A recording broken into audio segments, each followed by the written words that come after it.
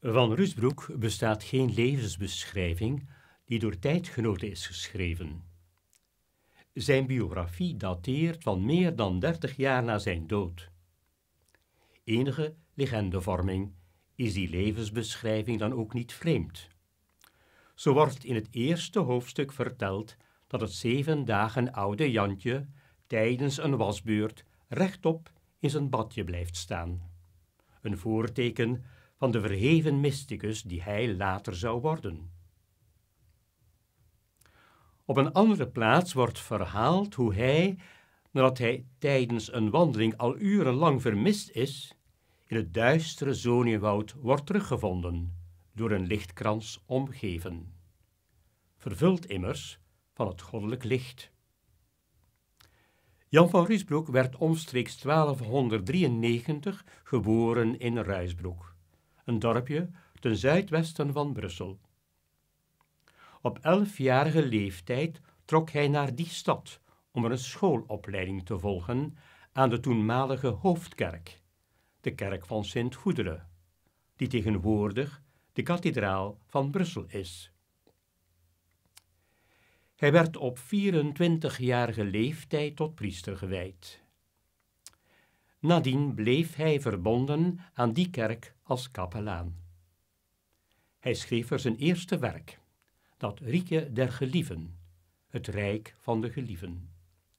En wellicht ook zijn meest bekende traktaat, die geestelijke bruiloft, de geestelijke bruiloft.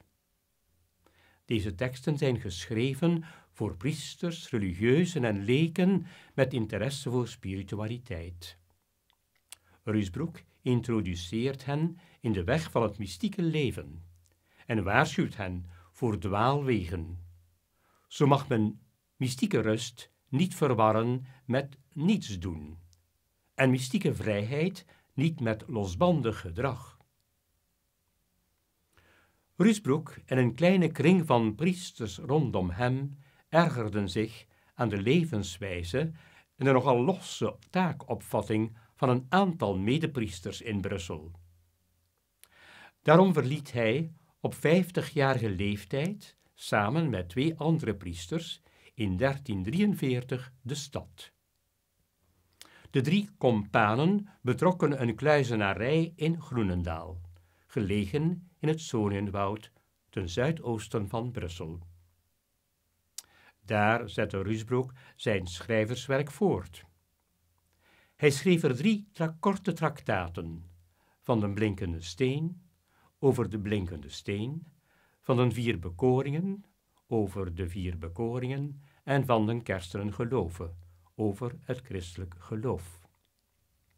Intussen breidde de gemeenschap van Groenendaal zich uit met andere religieus bezielde mensen. Ze stond bloot aan kritiek van kerk en maatschappij, die een religieuze groepering zonder kloosterregel verdacht vonden. In 1350 namen de bewoners van de gemeenschap dan ook de regel van Augustinus aan.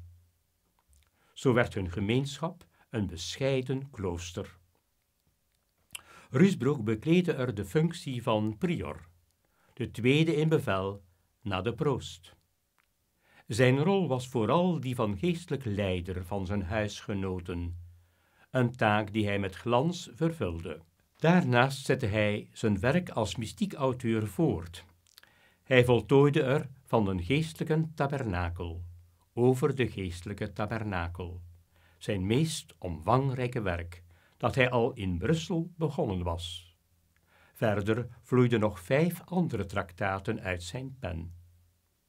Hierbij valt op dat twee ervan aan kloosterzusters gericht zijn, van een zeven sloten, over de zeven sloten en een spiegel der eeuwige zaligheid. De spiegel is het enige werk dat met zekerheid te dateren valt. Rusbroek voltooide het in 1359.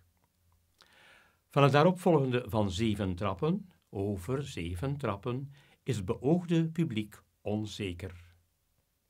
Maar van het compacte boeksken der verklaringen weten we dat Rusbroek het schreef voor bevriende Kartuizers.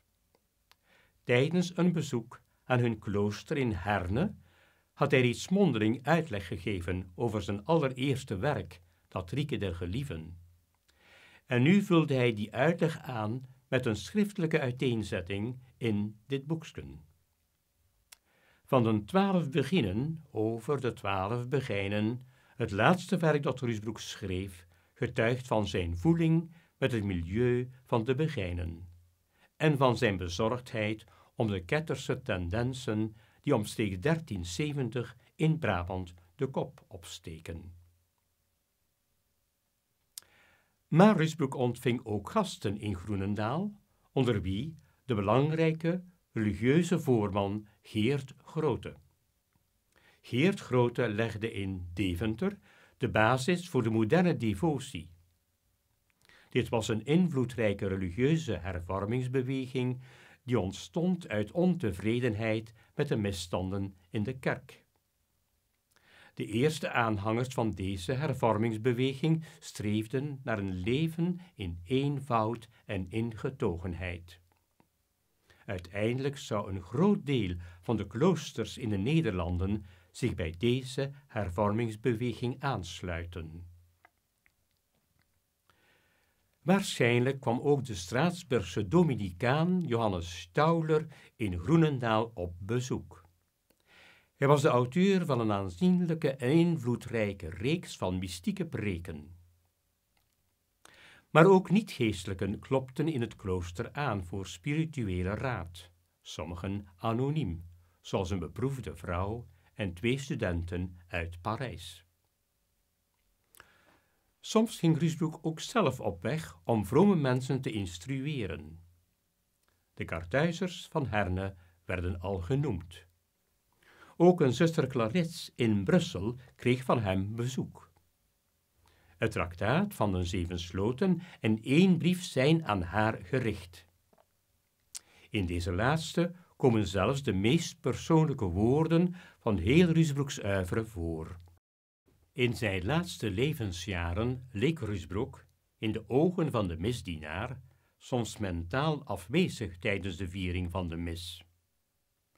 Toen de dienaar dit aan de overste meldde, wilde die laatste hem verbieden nog verder mis te lezen. Maar de mysticus smeekte dat verbod in te trekken, omdat, volgens hem, die schijnbare afwezigheid het gevolg was van de overvloedige vertroosting die hem door God geschonken werd. Toen hij zijn einde voelde naderen, vroeg hij om van de privékamer van de overste naar het ziekenkwartier overgebracht te worden, om daar in de gemeenschappelijke ruimte te mogen sterven. Op 2 december 1381, omringd door zijn huisgenoten, gaf Rusbroek de geest.